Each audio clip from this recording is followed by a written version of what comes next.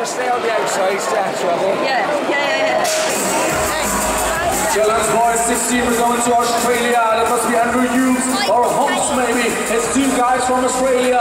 It's maybe three times Australia. Matthew White's also coming up. It's a rider from Japan, the Yamakishi. He's on the fourth spot at this moment. We got Australia on one and two. And we got Andy Betty Sherrock, Great Britain, Betty Sherrock back on the third position on his way to the.